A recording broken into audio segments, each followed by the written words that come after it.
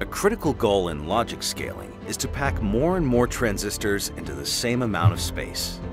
It all started with planar transistors, which evolved into FinFET over a decade ago when the channels became fins to minimize current leakage.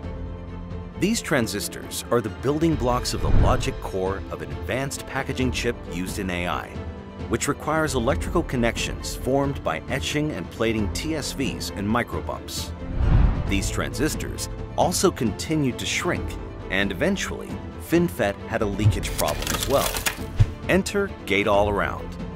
Building the Gate-All-Around structure requires a number of specialized atomic layer processes, such as selectively etching between the channels one layer at a time.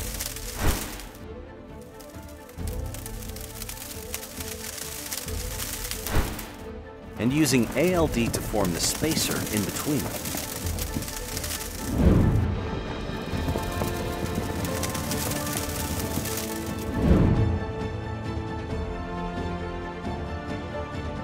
These processes become even more difficult at the next node because the device gets taller and smaller.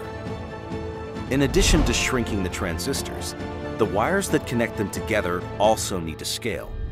When building such small wires, only dozens of atoms across, many things can go wrong. New EUV patterning technologies reduce these errors and defects.